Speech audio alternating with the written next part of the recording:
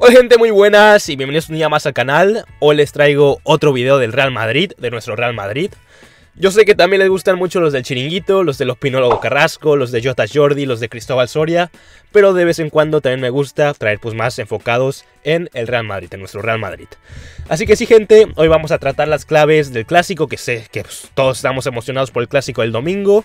Vamos a repasar lo que sería ofensivamente y defensivamente las claves del partido, ya sea los ataques de Jordi Alba, todo lo vamos a comentar y también vamos a comentar cómo es que el Real Madrid debería restar esos ataques.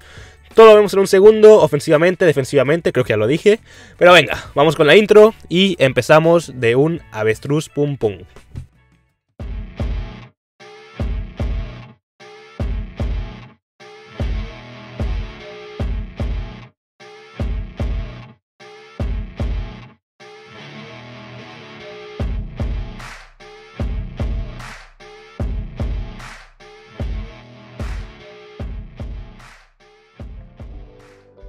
Y bueno gente, quiero ir poniéndoles ciertas imágenes, ciertos ejemplos para que nos vayamos dando cuenta de dónde está el peligro, de dónde Carleto tiene que enfocar a la plantilla para defender bien al Barça de la chavineta. Así que vamos a comentar las 5 claves defensivas que tiene que tener Carleto y las 5 claves ofensivas del Palancas Fútbol Club. Así que vamos a empezar con la primera, las diagonales de los mediocampistas al interior. Específicamente fue Gaby el otro día contra el Betis y bueno, fue Gaby ese día porque no jugó Busquets de titular, pero me imagino que si es que juega Busquets, pues también De Jong pueda ser un peligro, aunque también salieron ciertas informaciones que decían que Dembélé y De Jong podría tener ciertas molestias, pero bueno, quién sabe, no podemos depender de ciertas molestias del Barça, así que vamos de una vez con el segundo método. Ya luego al final que veamos todas les comento cómo es que Carleto debería pues contrarrestar estos ataques. Así que bueno, el segundo método es los centros interiores. Puede ser de los extremos, específicamente Rapiña, puede ser de Dembélé. Pero digo Rapiña porque Rapiña tiene eso, que puede estar desaparecido un buen rato del partido, pero creo que algo que tiene muy top, pero que muy top, es ese centro interior, que acaba normalmente con objetivo ya sea Lewandowski, o el otro día vimos que encontró a Pedri, que acabó en gol, pero bueno, lo terminaron anulando. Esa es otra, esa es otra, ahora vamos con el tercer punto, que sí que hay muchos, ¿eh? Dembélé, Dembélé, el otro día fue el peligro constante por esa banda. Me sorprendió que lo pusiera en la banda derecha, pero eso me hizo preguntarme si lo estaba probando para la final para que empareje contra Carvajal en vez de Mendy. Creo que hizo lo mismo en el clásico del Bernabéu, que acabamos ganando 3-1, pero ese es un tipo de peligro muy grande, porque muy grande, de Mela está en un momento de forma espectacular y va a ser muy, pero que muy difícil pararlo. Y ya por último, el último peligro que también es por la misma banda sería Jordi Alba, que también Jordi Alba puede tener muchísimas carencias, muchísimas carencias en defensa, pero en ataque, uf, la verdad mi respeto, los centros que pone son casi siempre perfectos. Ahora, hablamos de las maneras en que, no pueden en que nos pueden atacar, pero no hablé de cómo frenarlos. Así que pues vamos a hablar de eso también. Sabemos que el Madrid no va a tener ni a Álava ni a Rudiger, que diga Chouameni, Así que yo saldría con Mendy en el lateral y lo que haría con Rudiger y Militao es que le diría a Militao, tú pegado a Lewandowski al 100%, que no se te despegue. Y a Rudiger le diría que esté o para las ayudas a Militao en el doble marcaje o en lo que hablamos al principio, que son las incorporaciones de un mediocampista como puede ser Gabio de Jong. Pues eso también lo tiene que tener muy bien estudiado y atentos. Ahora, la banda derecha que hablamos de Dembélé y de Jordi Alba, tengo ciertas preocupaciones, ciertas discrepancias, porque en Carvajal tiene sus momentos, es inconsistente y la verdad no confío mucho. No confío mucho por el rendimiento que ha dado últimamente y lo único que creo que puede ser muy clave en este partido es Fede Valverde. Tanto como en defensa como en ataque, pero el ofensivo lo comentamos en un segundo. Así que sí, gente, Así es como yo planearía defensivamente el partido, o como creo que el Madrid se debería plantar defensivamente. Pero también está la duda de nuestro medio campo. ¿Saldrá con Camavinga? ¿Pondrá a Valverde en el extremo? Quién sabe, la verdad, quién sabe, ahí sí no tengo ni idea. Pero yo creo que saldrá con Cross como defensivo y lo demás ya veremos. Así que bueno, esto es lo que... Perdón. Así que bueno, esto es lo que yo pienso. Espero que pues, se hayan entendido bien todos los puntos que quería comentar. Pero sí, Vamos a repasarlos una vez más muy rápidamente antes de ir con la parte ofensiva. Primero fue frenar los diagonales de los mediocampistas, segundo fue frenar los centros interiores de Rafinha, el tercero fue que Valverde apoye en la marca de Dembélé y Jordi Alba, y el cuarto un poco más de lo mismo, frenar a Jordi Alba y esos centros a Lewandowski. Obviamente suena muy... ya se me está cansando la voz tú. Obviamente suena más fácil decirlo que hacerlo, pero pues es básicamente imposible que no se te cuele alguna por la cazuela. Pero hay que intentarlo, hay que intentarlo. Ahora sí vamos ahora en el aspecto ofensivo y cómo les podemos hacer daños a los del palancas. Bueno, y primero que nada quería comentar unas cosas sobre Vinicius, una cosa u otra, porque obviamente Vinicius siendo una de las armas más letales del madridismo, tenemos que comentar ciertas cosas.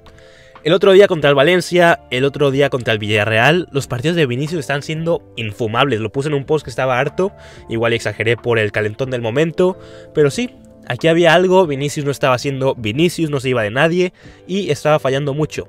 Pero me dije a mí mismo, mí mismo, aquí hay algo más. Vinicius no es un jugador malo, igual y un poco inconsistente, pero Vinicius para nada es malo, es un super crack. Y pues bueno, me puse a ver ciertos ejemplos, me puse a ver ciertas jugadas y llegué a la conclusión de que cuál era el problema. Y el problema se llama Ferland Mendy. Problema entre comillas, porque al final cada jugador es distinto, pero las cualidades de Mendy no están ayudando para nada a Vinicius. Me gustaría tener alguna pizarra, un borrador aquí, para poderles enseñar lo que pienso dentro de mi mente. Al final, con solo con la voz es muy difícil expresar lo que verdaderamente pienso y lo que pasa por mi mente, pero lo voy a intentar hacer lo mejor posible. Aquí estamos viendo una imagen que pues simboliza lo que pienso. El problema de Vinicius es que está muy solo. A Vinicius le vienen tres. Le viene el mediocampista derecho, el lateral derecho y le viene el central a marcar a Vinicius. ¿Cómo se puede contrarrestar eso? Con subidas de Mendy, subidas al lado de Mendy para que o te quite un rival o se la puedas pasar como estamos viendo aquí en el clip cuando fue el clásico. Mendy no ha estado haciendo eso para nada en los últimos partidos, igual y Mendy tampoco es un un, ¿cómo se dice? Un peligro muy grande para la defensa rival. Al final, los centros de Mendy son lo que son. Y pues bueno, al menos que esté ahí para jalar un poco de marca, para hacer un poco de pues, estorbo.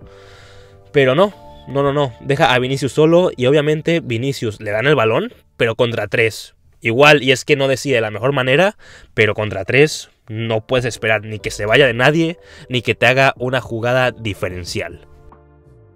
Y bueno, ahora quiero comentar cosas sobre Fede Valverde, dejando el tema de Vinicius un poco atrás, que no sé cómo le hace, pero creo que siempre encuentra la manera de hacer un tremendo partidazo contra el Barça. Siempre, es que absolutamente siempre. Bueno, excepto el día del 4-0, pero bueno, todos otros partidos o mete gol o se la saca. Y esperemos que el domingo no sea una excepción.